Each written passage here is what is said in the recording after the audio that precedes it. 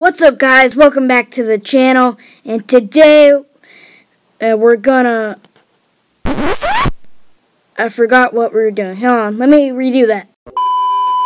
What's up guys, w welcome back to the channel, and today we're gonna go over the best player from each category in college football, so enjoy the video. The first position is quarterback, so the it's an obvious answer. I don't even need to say it. It's obviously Joe Burrow. The Heisman this year. Yeah, it's super obvious. There you go. The running back position. It's between J.K. Dobbins and Travis Etienne. Psych! That was just a pump fake. It is clear that it is Clyde Edwards Helaire. He will not go down anytime. The wide receiver position. I wish I could put George Pickens at number one, but I can't. But at least he's number three. Whoa, what are you talking about? There's like Justin Jefferson and DeVonta Smith. Blah, blah, blah blah blah. So this is George Pickens' stats against Baylor. That's pretty impressive. Here's the stats of the whole season. Could have been better if he played like the Baylor game every year. But the only problem is James Coley has the offense running not so well, so George Pickens, he's doing his part. James Coley, he's run the offense like Dolphins.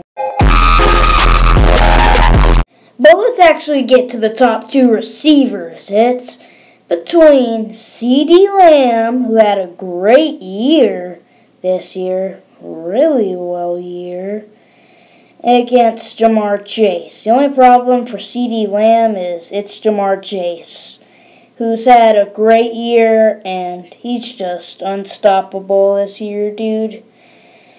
This dude cannot be denied, so we're going with him offensive tackle. It is clear that it is my man, Andrew Thomas.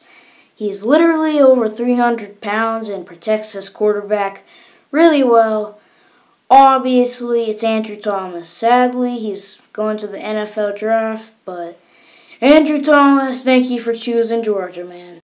It's time for some defense. Defense of tackle. It is Chase Young. He's usually a linebacker or a de- defensive tackle, but we're going to put him as a defensive tackle. He set a school record for tackle, so yeah. The linebacker position. It is Armani Rice. He has 84 tackles. That's pretty impressive, in my opinion. We got another Georgia player on the list. Let's keep it going. But yeah, cornerback. It's a tough one, but it's Derek Stingley, an elite cornerback from LSU. Safety. This is the hardest decision in the whole video. It's between Grant Delpit, a safety from LSU, Richard LeCounte, who had an amazing year from Georgia, and Brady Breeze, a leader on his Oregon defense.